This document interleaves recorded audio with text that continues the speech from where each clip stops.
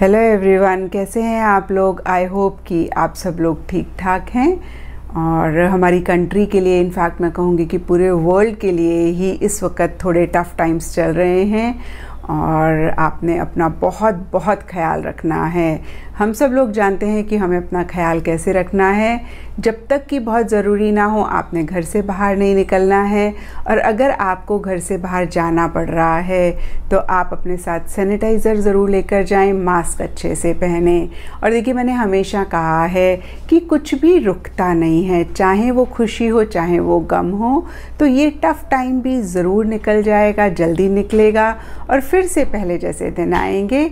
बस आप लोग अपना बहुत ख्याल रखें और आप सब लोग मेरी प्रेयर्स में हैं। मैं रोज़ सुबह मेडिटेट करती हूँ तो आप सब लोगों को पॉजिटिव वाइब्रेशंस देती हूँ और यही दुआ करती हूँ कि सबकी हेल्थ बहुत अच्छी रहे।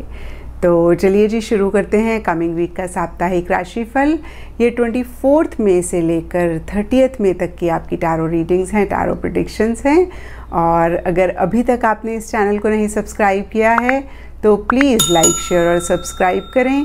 इसके साथ साथ अगर आप डेली टारो रीडिंग में इंटरेस्टेड हैं तो आप मेरा इंस्टा पेज भी विज़िट कर सकते हैं, जिसका लिंक आपको नीचे डिस्क्रिप्शन बॉक्स में मिल जाएगा। और दूसरी बात, इस रीडिंग को आप किसी भी साइन के हिसाब से देख सकते हैं। Sun sign moon sign ascendant या फिर नाम के हिसाब से भी राशियाँ होती हैं। उसके अकॉर्डिंग भी आप इस रीडिंग को देख सकते हैं।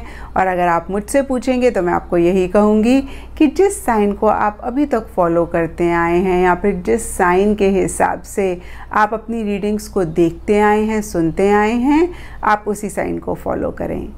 तो चलिए जी, शुरू करते हैं कमिंग वीक का साप्ताहिक राशिफल।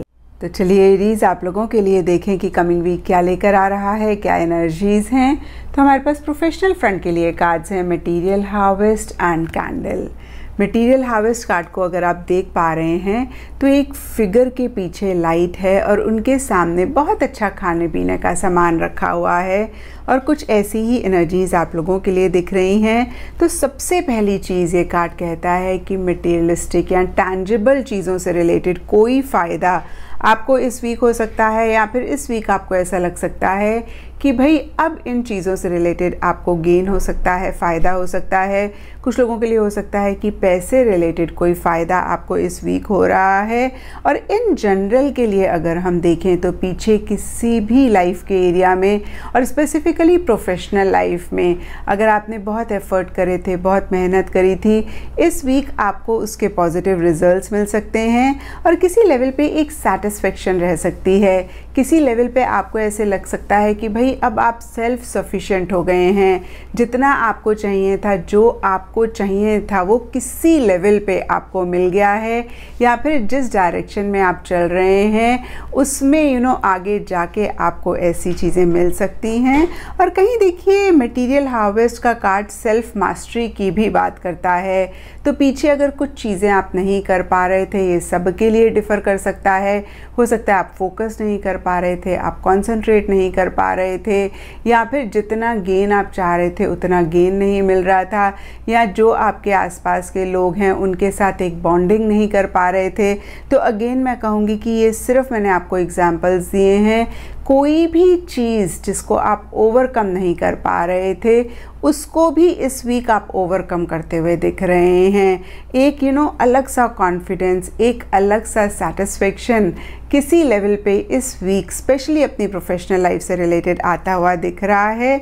और देखिए यहाँ पे कैंडल का कार्ड कहता है you will be shown the way तो देखिए एक और चीज़ जो मटेरियल हार्वेस्ट का कार्ड कहता है कि अब यू you नो know, एक लेवल शायद आपने अचीव कर लिया है। और इस वीक हो सकता है बहुत सारे लोगों के माइंड में हो कि भाई अब कैसे नेक्स्ट लेवल पे जाएँ? या फिर कैसे इस चीज़ को आगे बढ़ाएँ? कैसे और प्रोग्रेस अपनी लाइफ में लेकर आएँ?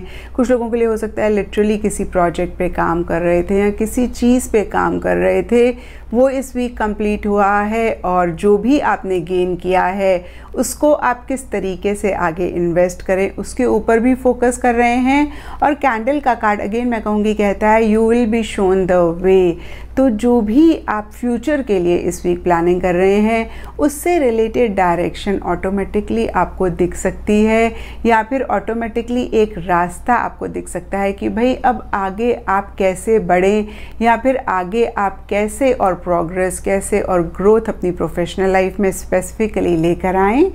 और पर्सनल लाइफ के लिए आप लोगों के लिए कार्ड है ऑब्ज़र्व एंड फॉरेस्ट देखिए ऑब्ज़र्व कार्ड को अगर हम लिटरली देखें तो इसका मतलब होता है देखना और चीज़ों को समझना। इस कार्ड में भी अगर आप देखें तो मेरे ख्याल से पाँच फिगर्स हैं और सभी एक दूसरे को देख रही हैं। तो यहाँ पे देखिए, इस वीक जो भी आप पर्सनल लाइफ में कर रहे हैं, उनको और समझना बहुत इंपॉर्टेंट है। उनको ऑब्ज़र्व करना बहुत इंपॉर्टेंट है, जिसका मतलब है कि इस वीक आप थोड़ा सा विड्रॉ करें। बहुत ज़्यादा एक्टिवली किसी चीज़ में इन्वॉल्व ना करें अपने आप को। और हो सकता है बहुत सारे लोग ऐसी एनर्जीज़ में हैं, जहाँ पे आप एक्टिवली इन्वॉल्व नहीं कर रहे हैं, जहाँ पे अगेन मैं कहूँगी आप एक बैक सीट ले रहे हैं और चीज़ों को और समझना चाहते हैं और ज़्यादा एक विजडम एक अंडरस्टैंडिंग इसी चीज़ से लेकर या फिर किसी भी पर्सनल लाइफ के एरिया से लेकर आप लाना चाहते हैं। और देखिए, कहीं ऑब्ज़र्व का कार्ड नज़रिए की भी बात करता है तो जो भी आपका नज़रिया है या जिस नज़रिए से आप चीज़ों को देख रहे हैं, उसको भी थोड़ा सा चेक करने की ज़रूरत है कि भाई जिस एंगल से आप देख रहे हैं वो सही है। यहाँ पे थोड़ी सी फ्लेक्सिबिलिटी लाने की ज़रूरत है, अपने नज़रिए को चीज़ों को देखने के बदलने की ज़रूरत है। देखिए, ऐसा भी अगर आप करते हैं तो आपको एक डिफरेंट लेवल की अंडरस्टैंडिंग या डिफरेंट लेवल की विजडम उसी पर्सनल लाइफ के एरिया से आएगी।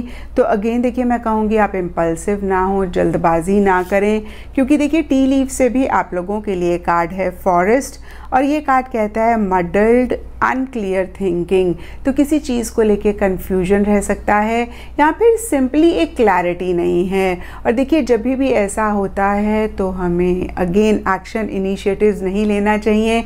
हमें पॉज करना चाहिए। हमें चीज़ों को ऑब्ज़र्व करना चाहिए। जो भी सिचुएशन है, उसके बियॉन्ड आपने देखना है। एक क्लैरिटी लेकर आनी है, कोई भी डिसीज़न एक्शन या इनिशिएटिव लेने से पहले। और अगर आप इस वीक नहीं लेंगे कोई भी एक्शन इनिशिएटिव तो मेरे ख्याल से ज़्यादा अच्छा रहेगा।